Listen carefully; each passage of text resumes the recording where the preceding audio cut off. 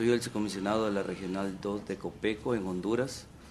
eh, donde nos toca atender más o menos 2.224.000 personas. nosotros hemos trabajado con PAD y AmCham bajo el criterio de buscar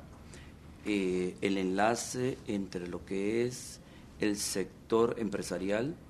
eh, y Copeco y el gobierno, en el sentido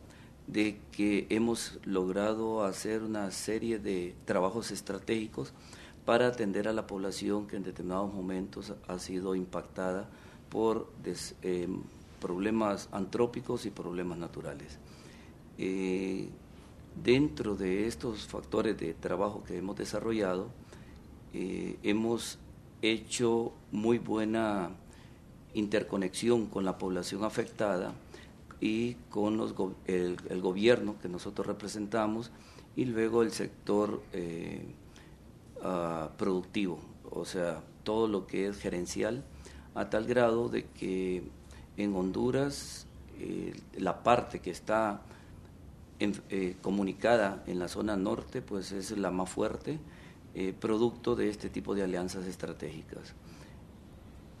La zona donde nosotros hacemos este tipo de trabajo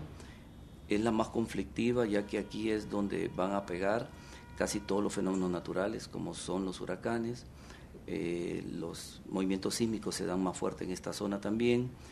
y estas alianzas pues definitivamente nos han venido a fortalecer enormemente.